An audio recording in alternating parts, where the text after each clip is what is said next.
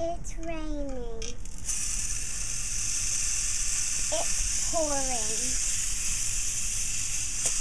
The old man is snoring.